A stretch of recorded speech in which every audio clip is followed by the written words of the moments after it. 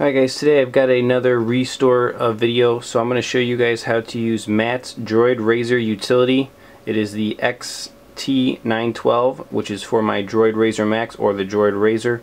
Uh, so what we're going to show you how to do is how to restore this device if something goes wrong on it. it actually, this utility can even update you to the newest Jelly Bean release and uh, perform root permission, so you get root permission on your device, give you that also. So let's go ahead and get into uh, how we got to do this. So let's go to our computer and check it out.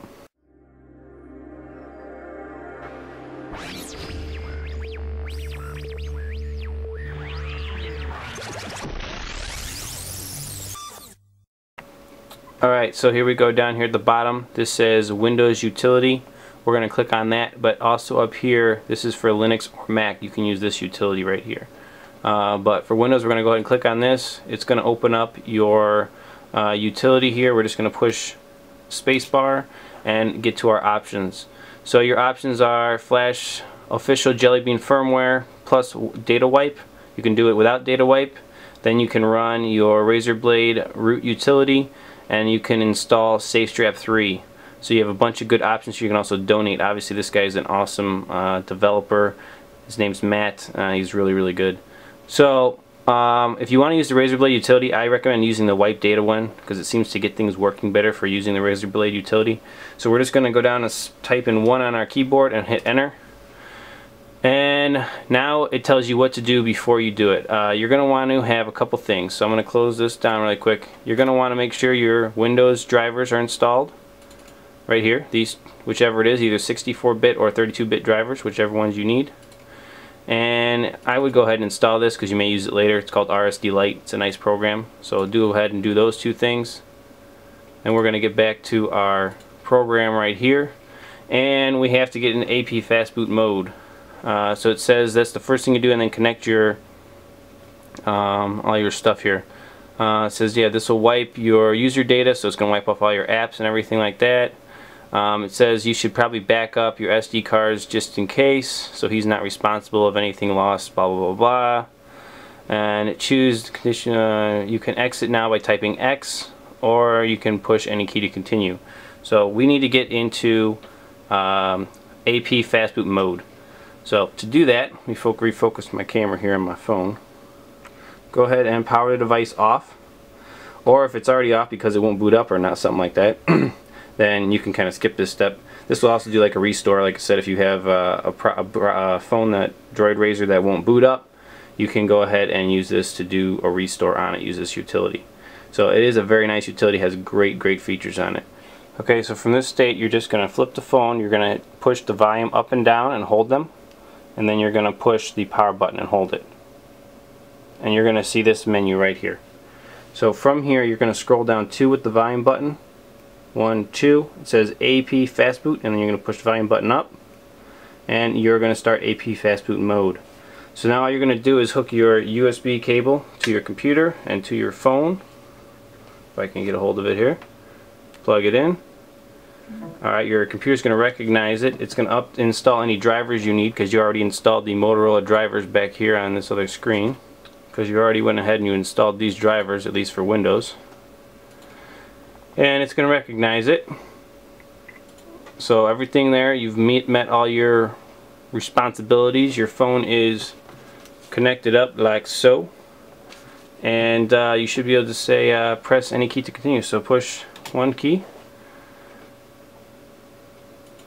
And it should start going through the process here. So there we go. So it's now sending and writing uh, different images to the device um, and changing some settings and it's going to run through all this process sending all the information log bins device tree every every little thing that needs to be sent to this device to get it to uh, the official Jelly Bean OTA it's going to go ahead and do that. It's now sending system. System's going to take a while. So let's just let this run through its process and uh, I'll come back to it then Alright, so this is what happened after it ran through and flashed all these files. There's about 16 files. that had to uh, send them and then write them. And as long as everything says it's okay, you're good. Um, and then now right now it says it's rebooting and installing radio files. So you can see the device is rebooting.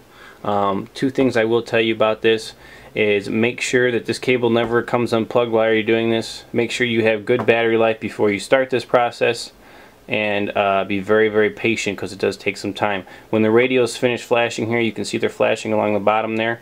Uh, device will reboot a second time and uh, you will be good. So uh, we'll go from there. So I'm just going to pause here, let this thing finish, and we'll check it from there.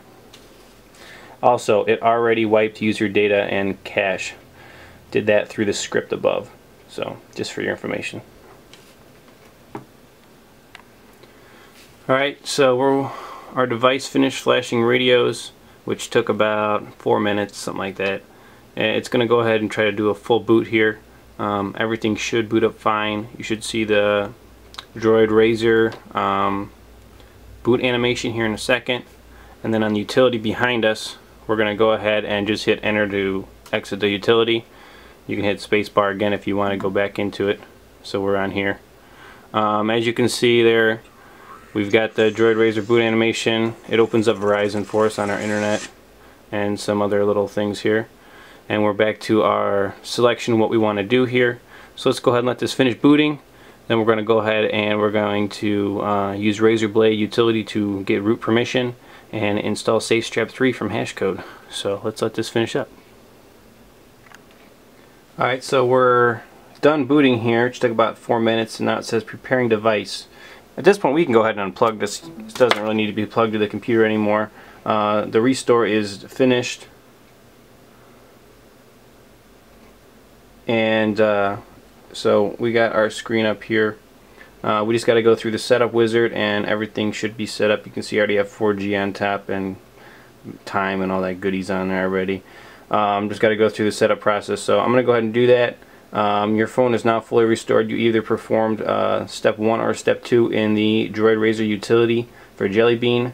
So you've either restored your phone or you have upgraded it to Jelly Bean, whichever one you want to use it for. Um, so we're going to go ahead and go through the setup process really quick. I'm going to go ahead and go through it, set up the phone. It's like getting a new phone right out of the box. And then we're going to go ahead and do the root utility. So hang on. Okay, so the phone is fully booted up. We're going to go ahead and go into settings and about phone. And again, there it is. Uh, 98-72-16-XT912 and we are on Jelly Bean right there. So the last thing we're going to do, if we want to set up here, we're going to go ahead and go in here and we're going to turn this on, developer options. And then we're going to turn on USB debugging and allow mock locations. So we've got those two done. Um, and then the last thing we're going to do is go into security. And we're going to turn on unknown sources. Check that. And there we go. So at this point we're going to go ahead and hook it back to the computer. like so. Let If it's got drivers, let those install. And then we're going to go ahead and go to the root utility here. So close all these things out, blah blah blah, another thing. Another one, another one. Alright, so now that we did step uh, one or two and we're back to official Jelly Bean firmware, um, and we're plugged back in here and we went ahead and did that USB debugging stuff, let's go ahead and do the Razr Blade utility and run that, which is step three. So let's go ahead and do it. Just leave this thing plugged in. So step three, you're going to go ahead and hit enter. And it just says make sure USB debugging is turned on. You've installed Motorola drivers, all that good stuff. If you have, push enter. And it's going to go ahead and go through this process. Uh, the first thing it's going to do here is reboot the device, which uh, shouldn't take too terribly long here. Come on, there we go. So we're going to go ahead and reboot the device. The device is going to reboot. There you go, you can see it turning off. And there we go. So we're going to let it reboot and then it's going to tell us what to do next. So let's just wait for that. So we're going through the boot animation here again, um, but now it tells you what to do. It says to open the Smart Actions application and then it's going to say to select Start, then we're going to go to Battery Saver, push save and push home button and then push uh, enter to continue to the next step. Uh, basically what they're doing here is, I'll show you, let's just go ahead and do this. I hope you can see that. Uh, home, go in here, go over to, oh we got go over to Smart Actions which is up here, select it, it's going to give you this like screen here, no big deal. and it says start setup correct? Hit next on the bottom. And then right here it says battery saver. Select it. And then up the top it says save. Select that. And that should save it. And then just push the home button. So now we have battery saver set up. So the point of battery saver um, let me see if I can show it to you.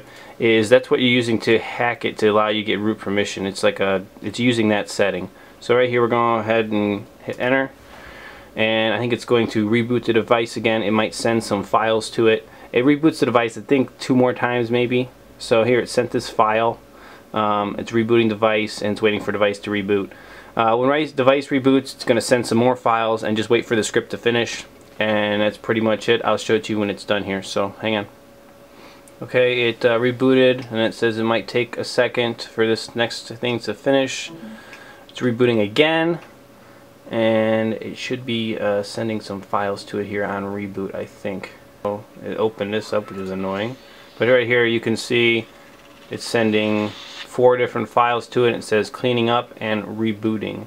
That was the procedure that happened. As long as all these go through fine you will have root permission when it is done so at this point this utility is pretty much done uh, we're just going to wait for it to reboot and then I'll show you to you on the phone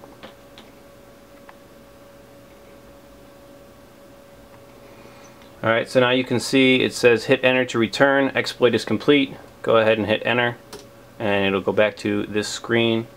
Um, and then uh, let me refocus on the phone here. So phones here, we can go ahead and unlock it. You can go ahead and unplug your USB cable.